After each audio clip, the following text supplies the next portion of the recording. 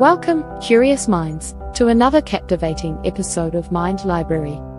Today, we embark on an intellectual expedition into the realm of human nature, guided by the brilliant insights of cognitive psychologist Steven Pinker and his seminal work, The Better Angels of Our Nature. Prepare to be amazed as we uncover the depths of human behavior, exploring the evolution of violence and the forces that have shaped our world. If you're hungry for insights that challenge perceptions and reshape perspectives, you're in for an intellectual feast. Don't forget to hit that subscribe button and ring the notification bell so you never miss an exploration into the depths of wisdom. 1. Setting the stage. Picture a world where violence and brutality seemed to reign supreme. But hold on. Pinker's revolutionary perspective challenges this perception. He asserts that despite the seemingly chaotic history, humanity has actually been gradually becoming less violent over the centuries. This fascinating concept challenges our assumptions and forms the foundation of the better angels of our nature. Imagine a time when early human tribes fought fiercely over limited resources.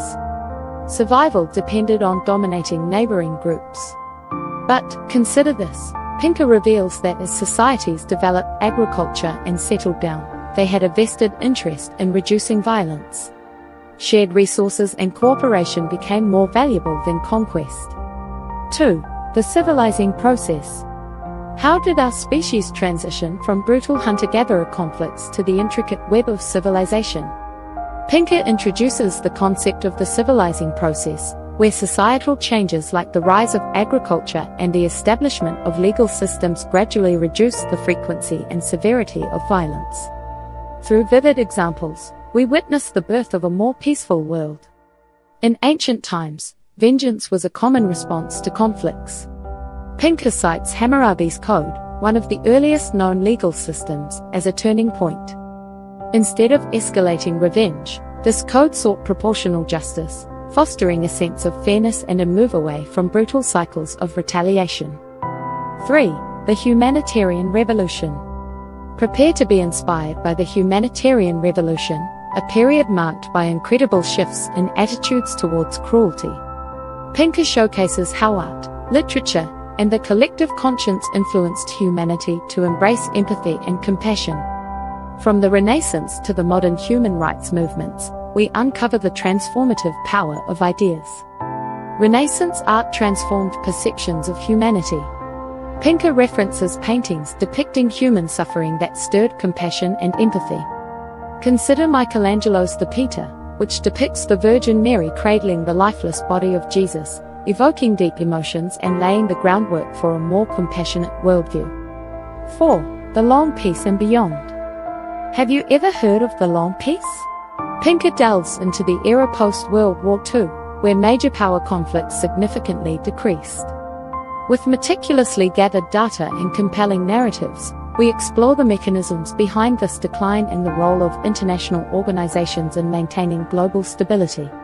The Cold War era was rife with geopolitical tensions.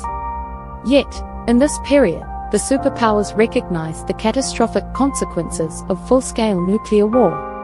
The concept of mutually assured destruction contributed to a strategic shift, highlighting the importance of diplomacy and peaceful coexistence. 5. The inner demons and angelic forces. It's time to dive into our own minds. Pinker examines the interplay of our innate tendencies, the inner demons, with our cognitive and emotional capacities, the angelic forces. By understanding how our brains function, we gain insights into the roots of aggression and the potential for kindness.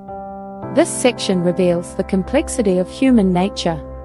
Our brains have evolved to be both reactive and reflective.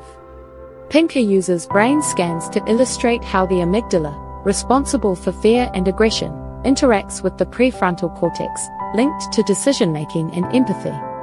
Understanding this dynamic sheds light on our capacity to control impulsive violence. 6. Navigating the present and future. As we stand at the crossroads of history, Pinker urges us to consider the factors that can sustain and even enhance the decline of violence. With the power of technology, global connectivity, and the lessons of the past, we have the tools to guide our world toward a more peaceful future. The internet has revolutionized global communication. Pinker points out that social media campaigns have played a role in raising awareness about humanitarian crises and rallying support for change. Platforms like Twitter and Instagram enable instantaneous connection across continents, mobilizing people to take action. Reflecting on our journey through Pinker's masterpiece, The Better Angels of Our Nature, we are reminded of the boundless potential within us to shape a more harmonious world. By acknowledging our capacity for change, learning from history, and fostering empathy, we can truly unleash our better angels and steer humanity toward a brighter tomorrow. Thank you, intrepid explorers of knowledge, for joining us on this captivating expedition through the pages of the better angels of our nature. Remember to like, share, and subscribe to Mind Library for more exhilarating journeys into the realms of wisdom. Until next time, keep seeking, keep learning, and keep embracing your better angels.